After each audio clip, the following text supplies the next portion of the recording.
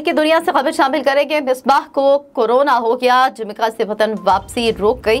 PCB के मुताबिक corona test मिसबत आने के बाद मिसबाउल हक अब 10 रोज तक के लिए जमिका में क्वारंटीना करेंगे, जिसके बाद उन्हें वतन वापसी की इजाज़त होगी।